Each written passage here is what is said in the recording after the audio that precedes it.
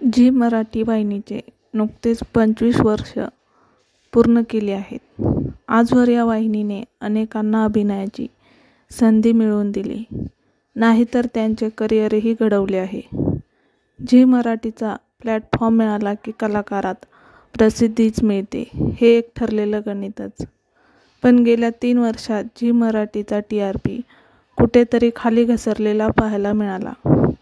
त्यामुळे प्रेक्षकांना पुन्हा खेचून आणण्यासाठी वाहिनी नवनवीन प्रयोग घडवून आणत आहे. अगदी हिंदी चित्रपट मालिका गाजवणाऱ्या कलाकारांना झी वाहिनीने मालिकासृष्टीत आणून टी आर पी वाढवण्यासाठी प्रयत्न केले.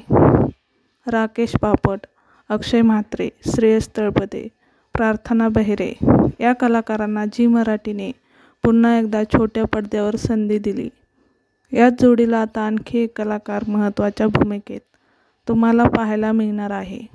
लवकरच झी मराठी वाहिनी एक नवीन मालिका घेऊन येत आहे. नुकताच ड्रामा ज्युनियरचा रियालिटी शो संपलेला पाहायला मिळाला. त्यामुळे येत्या काही दिवसात झी मराठी वाहिनी नवनवीन मालिका प्रेक्षकांच्या भेटीला आणत आहे.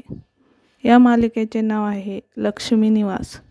काही दिवसापूर्वी झी मराठीने या मालिकेबद्दल एक हिट दिली होती. पण नुकताच या मालिकेचा पहिला ट्विस्ट प्रेक्षकांच्या समोर आलेला पाहायला मिळत आहे. एका पाठमोऱ्या वयस्कर कलाकाराची झलक या व्हिडिओतून दाखवण्यात आली आहे. त्यामुळे हा कलाकार कोण? याबद्दल तर्क लावले जात आहेत.